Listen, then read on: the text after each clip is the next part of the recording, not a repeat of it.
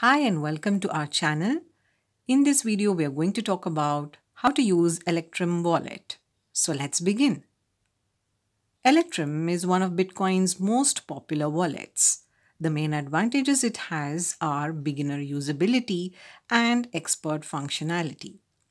This step-by-step -step video will introduce Electrum with examples highlighting the most important features for beginners. You don't need previous experience with either Bitcoin or Electrum. Learning Electrum requires practice. To get started, you have to download Electrum Wallet. Visit the official website of Electrum and click on the download button. On the download page, you can see operating system specific installers and installation instructions. You can find sources and binaries for Python, Linux, Windows, Mac, and Android. Select your operating system and click on it to start the download. If you're a Windows user, then there are three versions of Electrum available. The one labeled Windows Installer is the most convenient. Click on it to start the download. Also, you can scroll down the page and you will see a Notes for Windows Users section. Read it carefully to understand the process better. If you're a Mac user, choose the download named Executable for OS X and click on it. Here we are demonstrating the download and setup on Mac, but all the installation steps and wallet interface are almost same for a Windows user. Once the installation is done, double-click on the downloaded file to launch it. If you're using Windows, you have to run it as administrator. If you're using Mac, you will be asked for a confirmation to launch the application.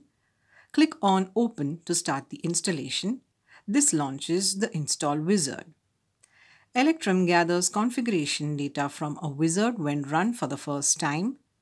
Its first question regards your method of connecting to a server although you can connect to a trusted server and that's what's recommended for secure use.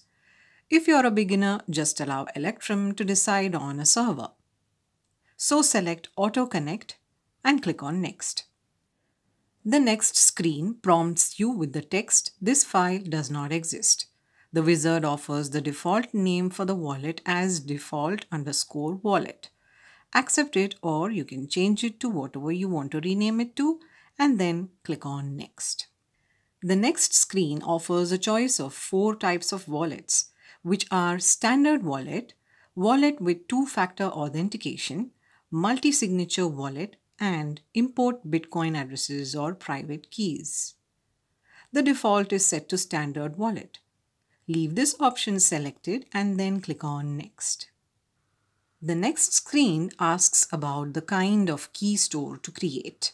A key store is the set of signing keys you will use to make Bitcoin transactions and it is controlled by a seed. Select your preferred option or leave the default option, create a new seed selected and then click on next. The next window displays your seed. Every wallet has an individual seed, so the words displayed in your window should be different than those in the figure below. Write your seed on a piece of paper. Don't print it with a printer. Once you have written your seed, click on Next. The next window asks you to type your seed. Click inside the text area and type the words of your seed. When you have entered the correct words, the next button will become active. After typing in your seed, click on the next button. On the next screen, you have to create a password for your wallet. Electrum can encrypt the copy of your seed stored to the disk. If your computer ever gets attacked, an intruder obtaining Electrum's files will be unable to decrypt your seed. You may also encrypt the entire wallet file by selecting the Encrypt Wallet File option. Doing so encrypts all wallet contents, not just the seed. This protects not only your money but your privacy in the event of an attack. For now, leave the password fields blank and then click on Next. On the next screen, Electrum will ask your permission to check for an update of your wallet. it has been recommended that you should always use the latest version of Electrum Wallet. With this, the installation finishes. Electrum should present its main screen. The circle in the lower right corner should be green, or if you're connected through Tor or VPN, it will be blue. If it is green, then you're ready to start using Electrum. Otherwise, you will need to configure your network settings by clicking on the circle. In the bottom of the left corner, you can see your wallet balance. To create a password for your wallet, click on the lock symbol in the bottom of the right corner. Enter your password and click on OK. Next to that, you can see the preferences icon. From here, you can change the settings and preferences of your wallet. You can see the tabs of General, Transactions, Lightning, Fiat and Open Alias.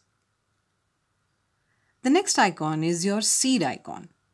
If under any circumstance you forget your seed, then you can click on it to see it.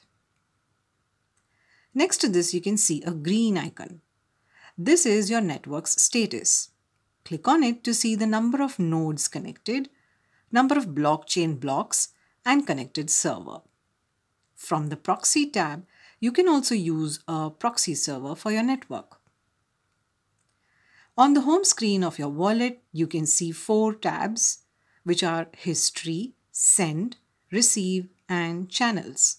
The History tab will show all the sending and receiving transactions made by your wallet. The transaction will initially be marked as unconfirmed under the History tab, indicating that it has not been added to the blockchain yet. A transaction added to the current block has one confirmation. A transaction added to the preceding block has two confirmations and so on. Also, transaction details are available by right-clicking the unconfirmed label. Adding a description to this payment will help you identify it later. To do so, double-click the description field of any transaction and add a descriptive label. Next is the Send tab. Payments can be sent to anyone with their Bitcoin address. Enter the Bitcoin address of your payee in the Pay To field, which can be manually entered or pasted from the clipboard. Next is the description field. Adding a description will help you identify the payment later. Next, you have to enter an amount. The total amount of the transaction is the sum of the sent amount and the transaction fee. Electrum issues a warning in the form of a red amount if the total transaction amount exceeds the wallet balance. Once you have entered everything, click on the Pay button to initiate this transaction. Next is the Receive tab. To receive a payment, you'll need an address. Click on New Address to receive one. Enter a description in the description box to identify the payment. Enter an amount in the requested amount field Select the expiry for your request. You can select the options from this drop-down menu. So this is basically how to install and set up Electrum. This guide has covered the essential tasks every user should be comfortable with, which are installation guide, wallet setup, sending funds, and receiving funds. That brings this video to an end. We truly hoped you liked it. For more such videos, make sure to stay tuned and stay subscribed to our channel.